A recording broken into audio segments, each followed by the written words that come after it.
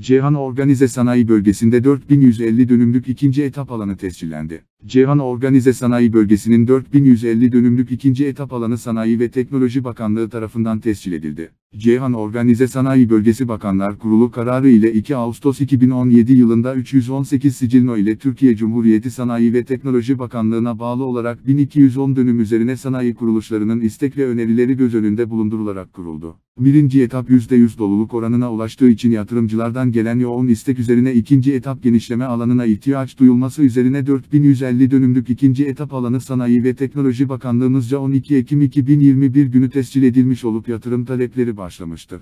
Ceyhan Organize Sanayi Bölgesi Yönetimi tarafından yatırım talebinde bulunmak isteyen yatırımcılar için başvuruların Ceyhan Organize Sanayi Bölgesi ofisine yapılması istendi.